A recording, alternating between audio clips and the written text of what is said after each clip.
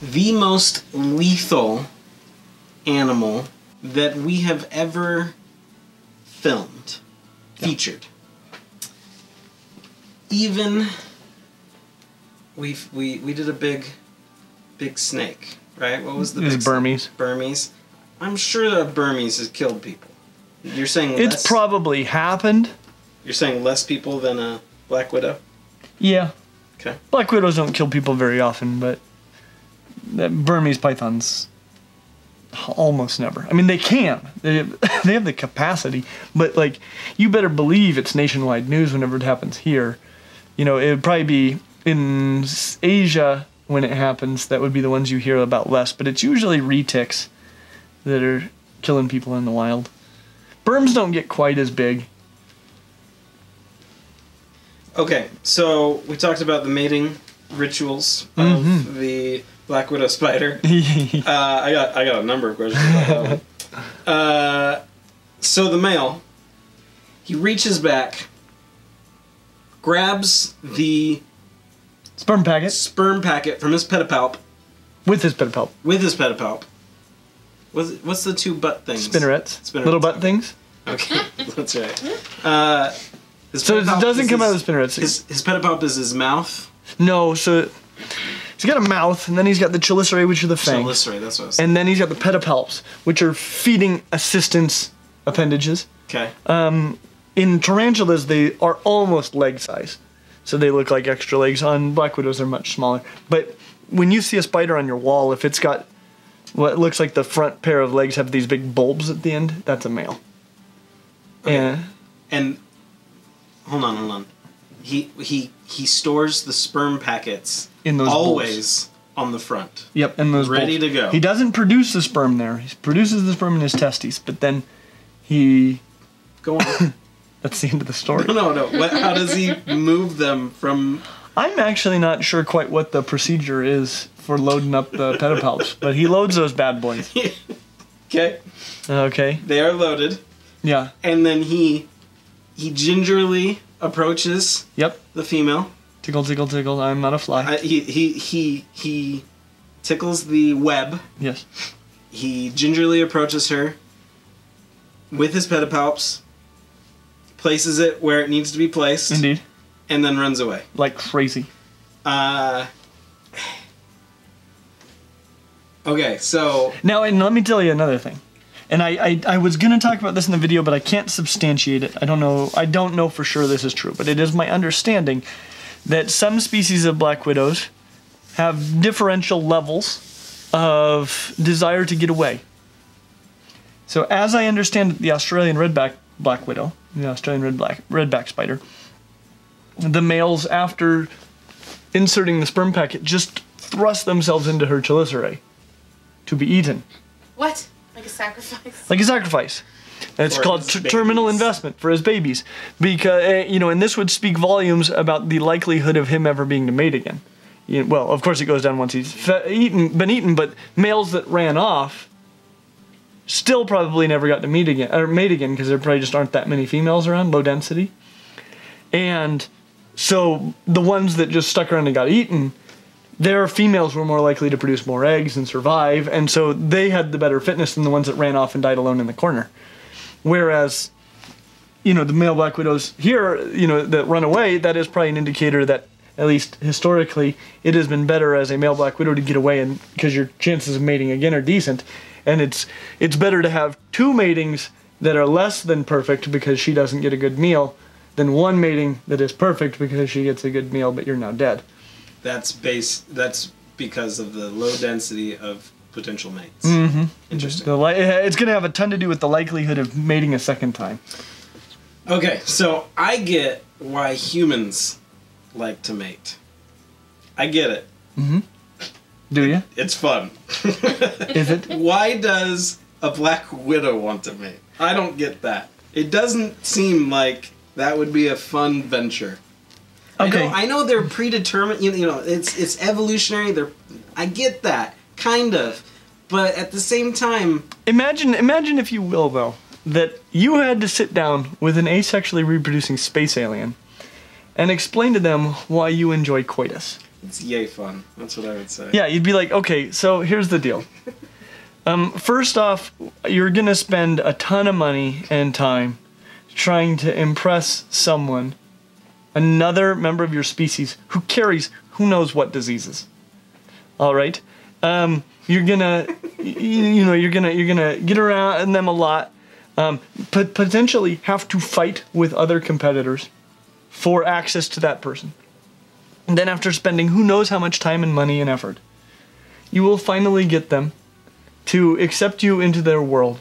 At which point you can expose everything that you hold most sacred about yourself to that person and hope that you are not rejected at this moment when they see really all the things you've been concealing all this time.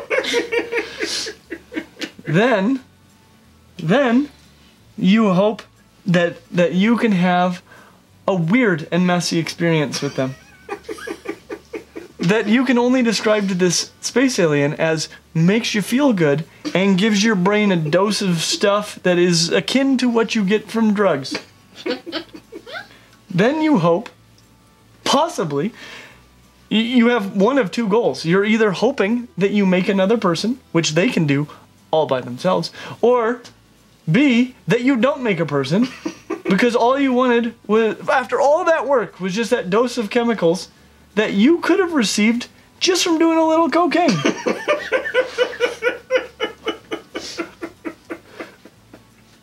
Uh, yeah. This, this is what you have to explain to them.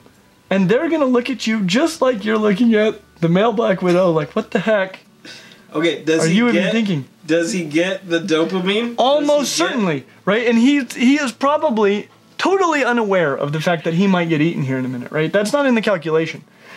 He is just driven by the He's same one-track mind. Yep, he's driven by the same difficult to explain motivations that motivated you through all this, all these steps, all the way up to that point, because his ancestors that weren't so motivated, well, they were, weren't his ancestors. But you, you, there's, you think he's getting a high, essentially. Well, he, he he's definitely There's some sort of payoff. some sort of payoff, right? Like he is he is being motivated somehow to do these activities, mm-hmm. whether or not he's aware why he's doing these activities or what the risks are, right? But he knows to get away. Maybe. You know, th- it, it, that's also something that has probably been selected upon for a long time because the males that got the heck out of there, they made it again, and so their genes are really well represented. You know, he might not be like, I bet she's gonna eat me. He's just like, all right, this is the point when I run away. Hmm. Right? Interesting. yeah. Okay. I've never, I have n- never ever explained that before in my life. like that, that is that is the first time I've ever had that particular conversation. Don't do not let my wife hear about this conversation.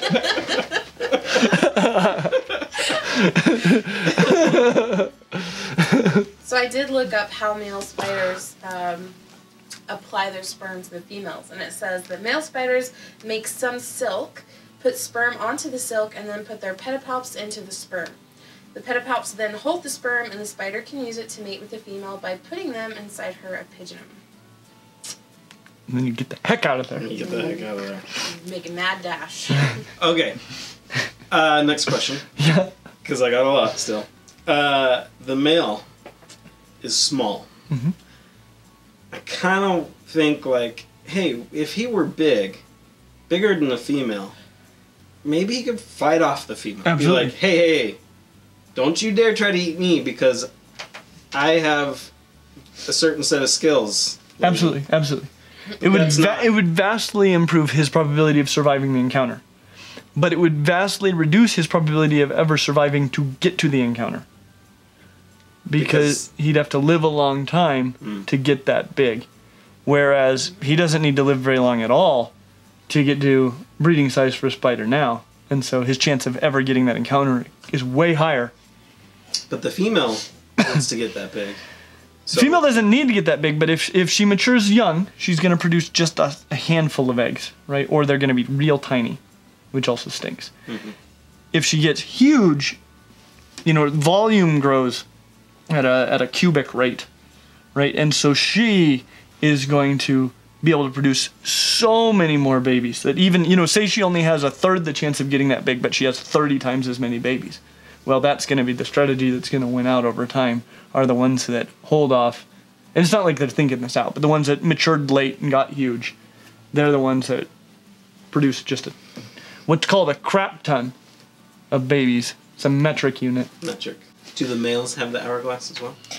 They kind of do, but it's not as def- they've got a lot of pattern going on, and and so it's kind of on there, but males aren't dangerously venomous either. I've rarely seen them because the truth is, the female has to live a long time. The males don't live very long. I mean, they're, they're only going to go through a few molts, and they're going to be big enough. They're going to mate, and then they're done. And so, the, the the number of female the females are bigger and more conspicuous, and they live a lot longer. So the number of females alive at any one time is a lot higher than the number of males. Are you going to talk about how the juveniles before they molt to black look a lot like the males and have the tan with the white? Sometimes, well, before they molt to black, when they're really little. But I've got a juvenile with me right now, and the main and we did talk about this already. But the main the main really distinctive thing about the juveniles is the red stripe up their abdomen. But there's so much variation in in the different species around the world that I don't want to get into too much detail. Sexual dimorphism. We've talked about the size. Why would color be Oh. so so Different. different. between the same species or whatever between a male and a female? Well, one of the big things, and this is this really goes to what Michelle was just saying about the fact that when they're young, they've got coloration much more like the males, is the fact that when you are dramatically different in size, you probably live in a different way. You know, the great big female lives in a different way than the male, and so there are different selective pressures on males than there are on females. And the females too, when they're young, have got very similar selective pressures to the males all their lives, and so they look about the same as the males do. But when they get big, they're living in a in a different environment and Interesting. different look. Antivenom. I imagine that would be crazy expensive stuff. Yeah, it's expensive. It's thousands of dollars a vial a lot of the time. Yeah. I don't Um, think it lasts very long. no, it, it's got a fairly short shelf life, maybe a couple of years. Uh, Clint, how many abandoned bathrooms have you taken a squat on? Uh, I'm very careful about squats in abandoned bathrooms. the true truth is, like, when you grow up going on hikes in the mountains and stuff. See, okay, Utah's funny. The first time I went camping in Utah, we went up to the mountains and camped in a tent on a mowed Kentucky bluegrass field. I'm like, what the heck is That's happening here? Yeah, no, there there were bathrooms that made flush sounds and running water for to wash your hands. There was a shelter with the fireplace in it. I'd never been camping like that in my life. Like in Colorado, it's a little bit more work to get into the mountains because eh, you know they're not just like because the mountains are much bigger and there are small mountains in front of the big mountains and you go to the big mountains and so you got to drive through the small mountains and you're kind of out in the boondies a lot the more. And when you find if there's a bathroom at all it's like a weirdy dark outhouse that maybe hasn't been used in quite some time. And black widows like humid quiet dark places. Like down in an old barely used outhouse. And and so you know they might be kind of down in there or even up in the toilet seat area and stuff and so you, you squat with caution Squat with caution. What is this capsule thing that you've got the other? no I, I feel like this is kevin always gives me stuff in these this What is, is that? this is a centrifuge tube okay. so they're lovely for when you're out in the field and you want to catch stuff because you can just stuff a bunch of these in your pocket and uh, you know uh, the, uh, uh, uh, an endothermic organism like a bird or a mammal wouldn't live very long in a tube like this. But these guys because they're not burning energy to heat their bodies their oxygen needs are really really low. And so you know if you want to be super careful you can poke a hole in this vial but then you risk that somehow the chelicerae get through there and get you. And so you can keep them in a vial like this for a long time as long as you open it every so often. This is not where I would long term storage this spider, but he just gave gave her to me, so we'll we'll set her up in a fancy apartment like this later. Where Uh, does he find them? At his house somewhere. Is he, yeah. does he find a lot of them? I think they're in his garage. Do you, Generally, I would poke some holes in the bottom. Uh, if you're worried about the spider getting through, what you can do is you can poke some holes with a fork, and then you can glue some paper towel down. Yeah, You know, like a circle of paper towel down, so that they don't get through too much. Um, but you know, honestly, like if you open the jar to feed them, and then open the jar maybe one other time a week. I've never, I have never had a black widow die of asphyxiation. Let's put it that way. Even when kept in centrifuge tubes for a while. How long's a while? I don't know, like a couple weeks. Maybe you know they they build their little web in there, and I'm catching flies on the ceiling with it.